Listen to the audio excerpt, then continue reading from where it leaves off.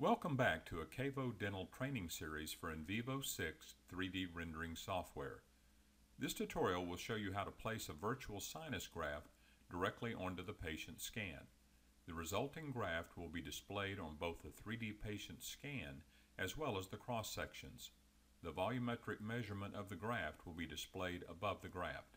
After you place a virtual implant requiring augmentation, you should see the cross-section screens.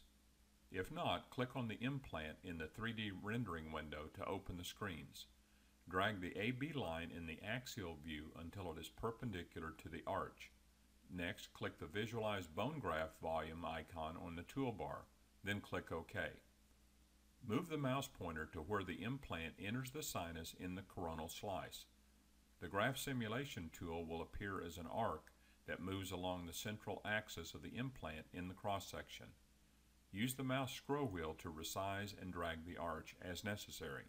Click to place the graft in the desired position. A pop-up window will reveal the estimated sinus grafting volume. Click OK.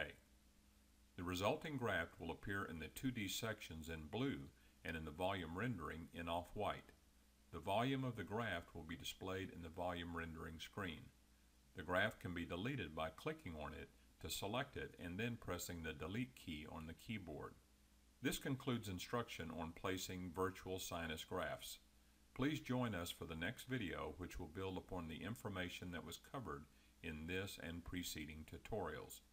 If you have any unanswered questions or if you would like additional information, consult the Invivo reference manual. If you do not have a copy of the manual or still have questions, contact KaVo Dental Technical Support by calling 866 528 6537.